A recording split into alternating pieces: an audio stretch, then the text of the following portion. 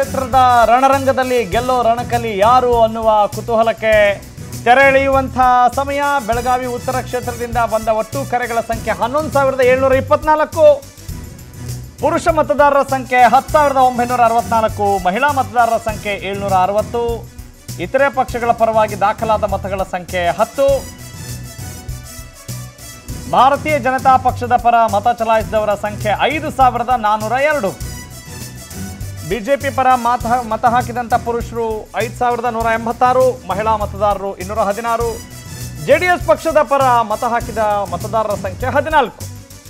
ಇದು ಬೆಳಗಾವಿ ಉತ್ತರ ವಿಧಾನಸಭಾ ಕ್ಷೇತ್ರದ ಚುನಾವಣಾ ಪೂರ್ವ ಸಮೀಕ್ಷೆಯ ಫಲಿತಾಂಶ.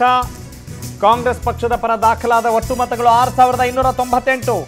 ಕಾಂಗ್ರೆಸ್ ಪರ ಪುರುಷ ಮತಗಳು ಐದು ಸಾವಿರದ ಏಳ್ನೂರ ಐವತ್ನಾಲ್ಕು, ಮಹಿಳಾ ಮತದಾರರು ಐನೂರ ನಲವತ್ನಾಲ್ಕು. ಭಾರತೀಯ ಜನತಾ ಪಕ್ಷದ ಪರ ಶೇಕಡ ನಲವತ್ತಾರರಷ್ಟು ಮತಗಳು ಚಲಾವಣೆಗೊಂಡಿದ್ದಾವೆ.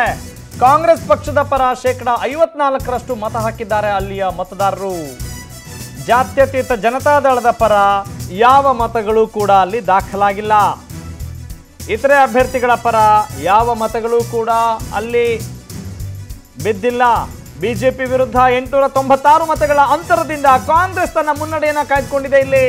ಭಾರತೀಯ ಜನತಾ ಪಕ್ಷಕ್ಕಿಂತ ಮುನ್ನಡೆಯನ್ನ ಕಾಯ್ದುಕೊಂಡಿದೆ ಕಾಂಗ್ರೆಸ್ ಪಕ್ಷ. ಬೆಳಗಾವಿ ಉತ್ತರ ಚುನಾವಣಾ ಪೂರ್ವ ಸಮೀಕ್ಷೆಯಲ್ಲಿ ಕಾಂಗ್ರೆಸ್ ಮುನ್ನಡೆಯನ್ನ ಸಾಧಿಸಿಕೊಂಡಿದೆ. ಬೆಳಗಾವಿ ಉತ್ತರ ಕ್ಷೇತ್ರದ ಬಿಜೆಪಿಯ ಹಾಲಿ ಶಾಸಕ ಅನಿಲ್ ಬೆನಕೆಗೆ ಖಂಡಿತವಾಗ್ಲೂ ಶಾಕ್ ಆಗಿರುತ್ತೆ. ಬೆಳಗಾವಿ ಉತ್ತರ ಕ್ಷೇತ್ರದಲ್ಲಿ ಹಾಗಾದ್ರೆ ಮುಂದಿನ ಸಾರ್ವತ್ರಿಕ ವಿಧಾನಸಭಾ ಚುನಾವಣೆಯಲ್ಲಿ ಕಾಂಗ್ರೆಸ್ ಜಯ ಗಳಿಸುತ್ತಾ ಎದುರಾಳಿ ರಾಜಕೀಯ ಪಕ್ಷಗಳಿಗಿಂತ ಮುನ್ನಡೆಯನ್ನ ಕಾಯ್ದುಕೊಂಡು ಆತ್ಮವಿಶ್ವಾಸವನ್ನ ಹಿಗ್ಗಿಸಿಕೊಂಡಂತೆ ಕಾಣ್ತಾ ಇದೆ ಕಾಂಗ್ರೆಸ್.